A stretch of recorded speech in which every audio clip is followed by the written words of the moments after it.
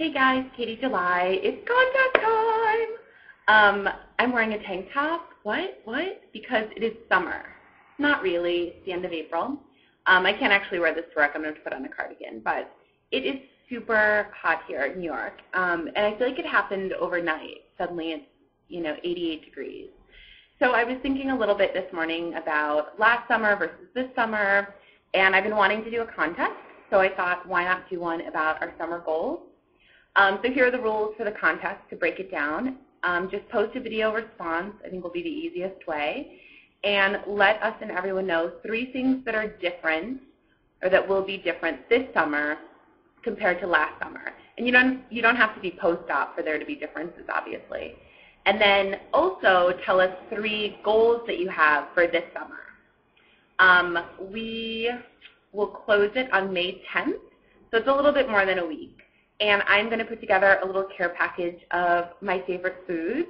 I'm trying to think of like other things to send in the mail, but we all love food. Let's be realistic.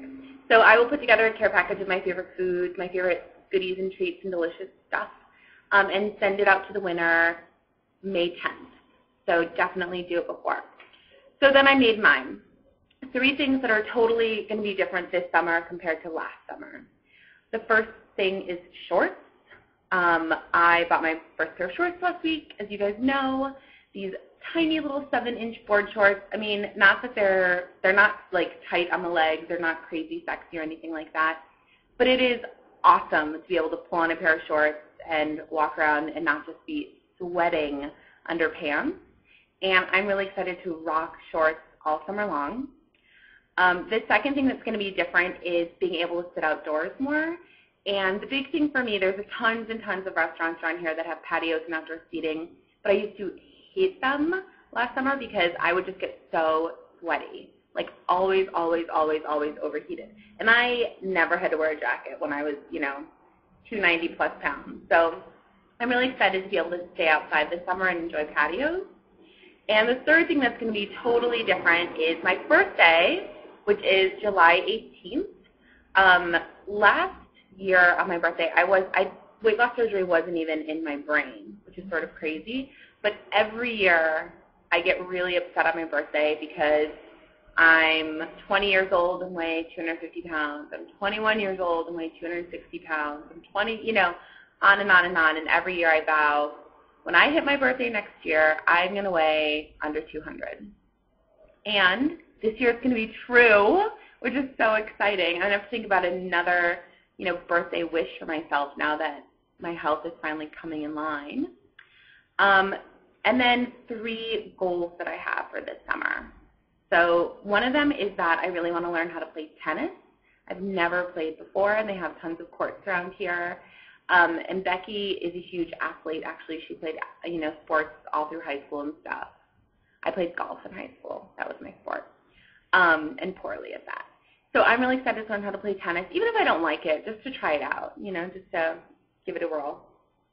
The other thing is I really do want to run a 5K, and I realized I should just pick a date and sign up for it probably towards the end of June because my training has been pretty spotty. You know, I did the first week, but then it took me two weeks to do the second week of running. So I'm going to pick a 5K, and my goal is to run it. Even if I don't stay a runner forever, I really want to run the 5K because it was totally on my fantasy list of things I would never be able to accomplish, and it's exciting. I'm going to accomplish it this summer. And then the third thing is a little bit more abstract, but one of my big goals for this summer is to stay focused. And I think that kind of has two parts um, in terms of you know my health. One is that I have vacation plans, vacations planned. My mom's coming to visit in a month. I'm going to go to Cape Cod for a week in June. Hopefully I'm going to go to California in July. And I don't want every month to think that I have a week off in terms of being focused on getting healthy. Um, and also just as I get smaller, it's easier, I can kind of see, to be happy with where I am. And so to not be pushing as hard in terms of like, I really want to lose two pounds this week. You know, suddenly it's like, one pound's all right you know, I don't want to get comfortable and fuzzy and slow myself down even more. So it's a little bit abstract, but I really want to stay focused this summer um, and make it to goal. Not that I have to make it to goal this summer, but, you know, I want to be closer at the end of the summer than now. I don't want to maintain. So that's how my summer is already going to be different and the big goals I hope to accomplish this summer. And let me know some of yours. Hopefully this will get us pumped up for the warm weather. I'm super excited about it. And I will be sending goodies to whoever wins. So hope you guys have a good week. Bye.